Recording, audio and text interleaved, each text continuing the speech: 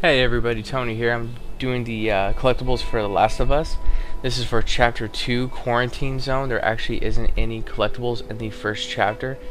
Now, the first two artifacts you're going to find in your bag right away. The second you, uh, you equip it, uh, they're just going to be right there for you. You're going to see that a couple of times in the game. So, there's one and two for you.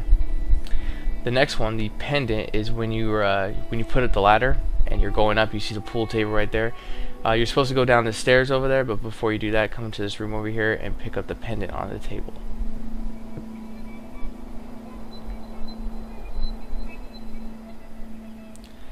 The next one is, uh, this is after you uh, kill the first three infected that you find when you're coming up out of the area. Before you go down out into the fresh air, when you take a left over here, you're going to see it on the table, as you can see right there.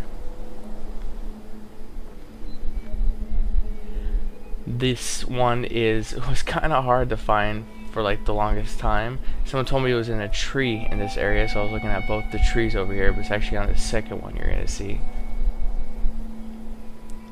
And it's gonna be right there. I'll just uh, hopefully you have uh, ammo.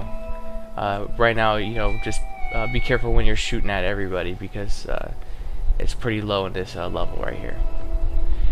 This one is after you you get off the bus and that guy's in your face, you're supposed to go to the right over there, but before you do that, come over here.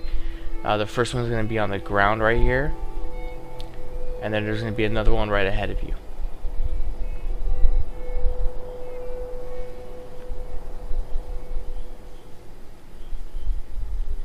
This next one shortly after. Uh, you're going to be listening to these two guys talk for a while. Uh, after they're done talking, when they're both not looking at each other, just climb through the window over here and just choke this guy out.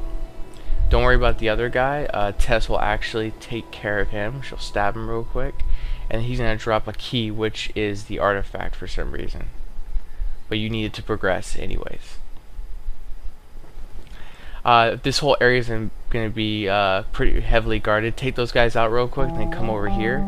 Pick up that one. And if you follow me along over here, you're going to find the other one over by this trash chute I believe it is.